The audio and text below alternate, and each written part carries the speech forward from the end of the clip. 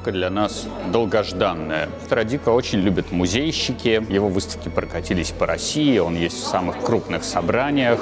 И вообще редкое удовольствие увидеть пастели, увидеть графику. И художник это очень камерный, очень герметичный. Художник, о котором, как правило, пишут какие-то вещи, связанные с советским прошлым, с его тяжелой судьбой. Но я не нашел этого, полистав его каталоги, где он, э, в общем-то, пишет о том, что действительно его волнует. А это ни много ни мало как вечность. И на выставке на этой мы не встретим никаких суетных примет современности. Э, встретив этот графический лист, можно принять его за какую-нибудь графику, даже, может быть, не знаю, начала 20 века. Это действительно работы, созданные для вечности. И та мысль, которая волновала художника, это свет изнутри, ну, как в иконописной традиции, э, на этой выставке видна очень хорошо. Это пастель буквально светится изнутри, и это действительно так.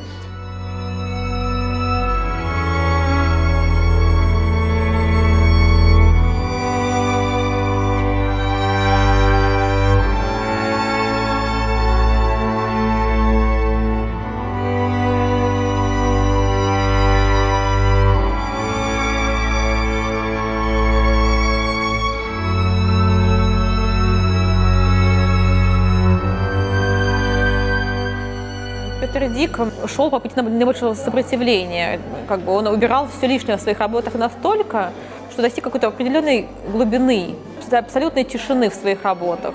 И когда на них смотришь, ты понимаешь, что есть, они какие-то очень особенные. И вот когда я писала экспликацию, долго на них смотрела и придумала для себя такую формулировку, что у него эстетика превращается в этику. Человек там находится сам с собой в каком-то космосе, абсолютная тишина, абсолютный вакуум такой, как бы вакуум внешних событий нет.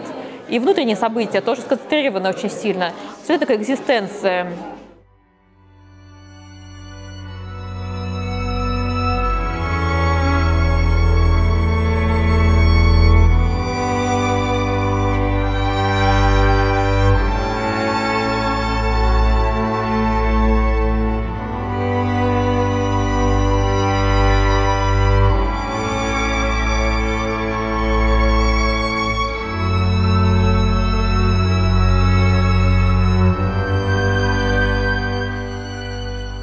Выставке Петра Дика в Ирарте я испытал давно забытое удовольствие не просто от портретов с какой-нибудь особой метафизикой и глубиной, а вот от таких портретов, когда лица не видно или человек развернулся вообще от того, кто его должен видеть. Сегодня в эпоху переизбытка селфи и дешевых образов это глубина Петра Дика, это его аскетизм, это его сдержанность, мне кажется, особенно круты.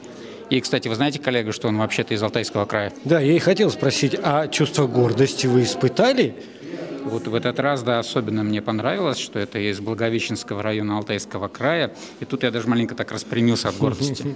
Конечно, интересные работы, любопытные работы, но я хочу бросить маленький-маленький такой кусочек а, песочка в адрес организатора. Понимаете, пастель очень сложный материал, который трудно демонстрировать и показывать. Свет, стекло делают то, что мы называем отражением.